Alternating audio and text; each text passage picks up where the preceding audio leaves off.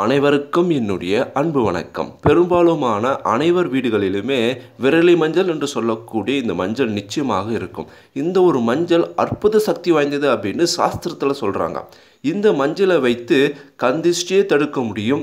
மிகப்பெரிய பண வரவை ஏற்படுத்த முடியும்.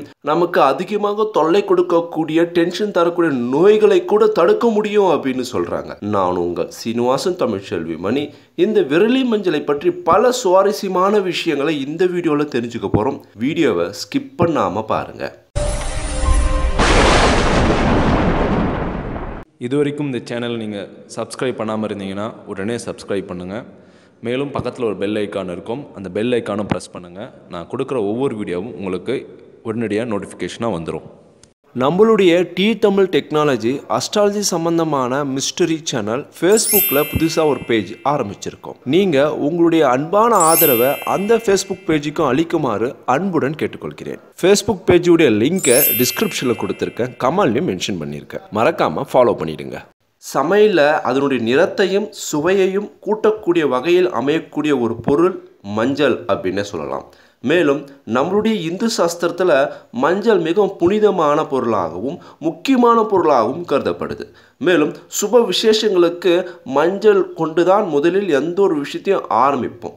அந்த அளவுக்கு சிறப்புத்தன்மை வாய்ந்த இந்த மஞ்சள் காப்பு மஞ்சள் கரி மஞ்சள் மர மஞ்சள் கஸ்தூரி மஞ்சள்னு முக்கியமான நாலு வகைகள் உண்டு. இன்னும் சில வகைகள் உண்டு. இருந்தாலும் இந்த நாலு வகைகள் பெரும்பாலும் மக்களிடையே அதிகமாக பயன்படுத்துகிறாங்க மஞ்சள் அப்படின்னு சொன்னாலே மக்கள் மனதில் முதல்ல தோன்றக்கூடிய விஷயம் என்னன்னு பார்த்தீங்கன்னா புனிதமான ஒரு விஷயம்.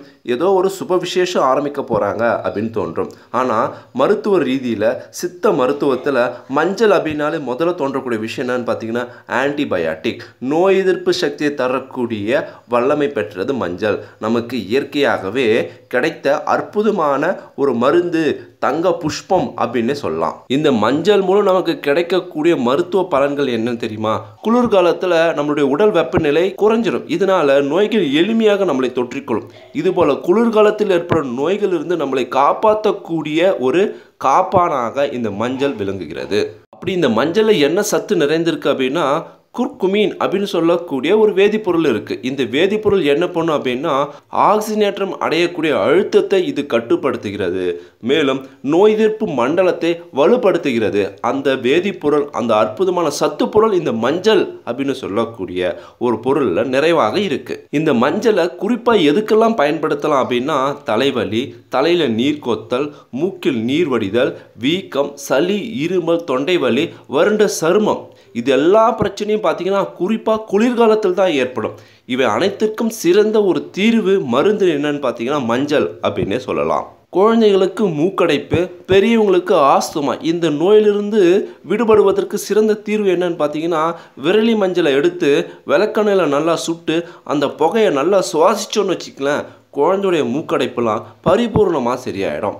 பெரியவங்களுக்கு ஏற்படுற அந்த காசு நோய்க்கு இது ஒரு ஹிங் ஹேலராக செயல்படும் அப்படின்னு சித்த மருத்துவத்தில் பெருமையாக சொல்கிறாங்க ஒரு சிலருக்குலாம் குளிர்காலத்தில் கண்வலி ஏற்படும். அவங்களாம் ஒரு டியூஸ்பூன் மஞ்சள் எடுத்து சுத்தமான தண்ணியில் போட்டு கொதிக்க வச்சுட்டு அதுக்கப்புறம் அந்த தண்ணியில் வெள்ளை கலர் துணியை போட்டு நினச்சி அதுக்கப்புறம் அந்த துணியை கண்ணில் அப்படியே மேலே போட்டு ஒத்தரம் கொடுத்தீங்க அப்படின்னா கண்வலி எல்லாம் சிறப்பான முறையில் சரியாயிடும் அப்படின்னு சொல்கிறாங்க பெரும்பாலும் நம்முடைய இந்திய பெண்கள் அனைவருமே கஸ்தூரி மஞ்சளை போட்டு குளிப்பாங்க. கஸ்தூரி மஞ்சளை உடம்புக்கு பயன்படுத்துவாங்க. இது ஆன்டிபயாட்டிக் மற்றும் அழகு சார்ந்த ஒரு விஷயம். மேலும் இந்த கஸ்தூரி மஞ்சள் வந்து பார்த்தீங்கன்னா வறண்ட சருமத்துக்கு சிறந்த ஒரு தீர்வாக இருக்குது அந்த அளவுக்கு சிறப்புத்தன்மை வாய்ந்ததுதான் இந்த மஞ்சள். குளிர்காலத்தில் அஜீரண கோளாறு நமக்கு ஏற்படும். அந்த அஜீரண கோளாறு சரி செய்வதற்கு நம்ம என்ன பண்ணணும் தெரியுமா?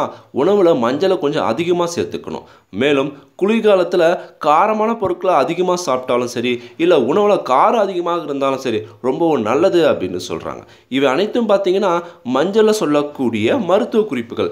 சாஸ்திர ரீதியில் மஞ்சளை வச்சு என்னென்ன பரிகாரங்கள் செய்யலாம்? மஞ்சள் மூலம் என்ன மாதிரியான பலன் நம்மளுக்கு கிடைக்கும் அப்படின்னு தெரிஞ்சுக்கலாம். மஞ்சள் மூலம் நம்ம செய்யக்கூடிய பரிகாரங்கள் பார்த்தீங்கன்னா ரொம்ப எளிமையான பரிகாரம் தான். இதுக்காக மந்திரம் எதுவும் தேவையில்ல.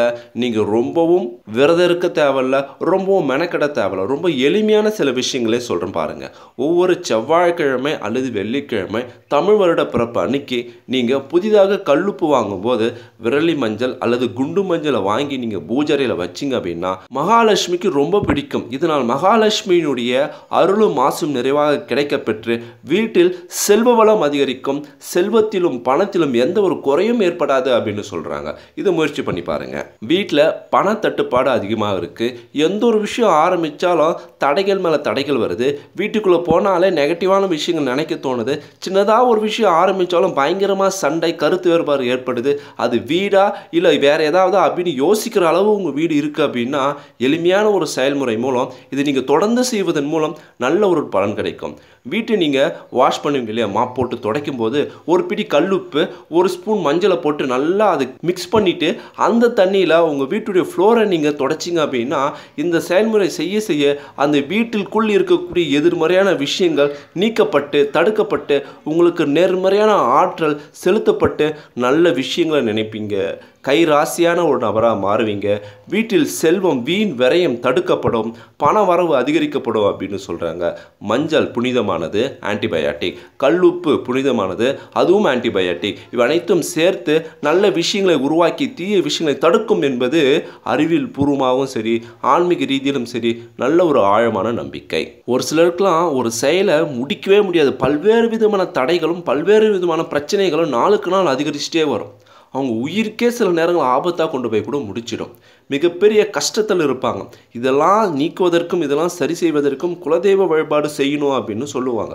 அந்த குலதெய்வ வழிபாடு செய்வதனோடு அந்த குலதெய்வத்தையே நம்முடன் வைத்திருக்கக்கூடிய ஒரு விஷயம் ஒரு செயல் இந்த விரலி மஞ்சள் மூலம் செய்யலாம் அப்படின்னு சொல்கிறாங்க ஒரு விரலி மஞ்சள் எடுத்துக்கங்க வெற்றிலையால் சுற்றுங்க இன்னொரு விரலி மஞ்சள் எடுத்துங்க அதையும் வெற்றிலையால் சுற்றுங்க மஞ்சள் நூலில் உங்கள் குலதெய்வத்தையோ இஷ்ட தெய்வத்தையோ நினச்சி நல்லா காப்பு கட்டுங்க. அதுக்கப்புறம் இது செய்யும் போதே உங்களுடைய பிரச்சனை என்னவோ அதை சரியாகணும் அது நிவர்த்தி ஆகணும் அப்படின்னு வேண்டிக்கிட்டே நீங்கள் இந்த ப்ராசஸை செய்யணும். அதுக்கப்புறம் உங்கள் குலதெய்வமோ இஷ்ட தெய்வத்தோ மனதால் நினைத்து அதை பரிபூர்வமாக வேண்டிக்கிட்டு நீங்கள் எங்கே போனாலும் இந்த ஒரு விஷயத்தை எடுத்துகிட்டு போங்க.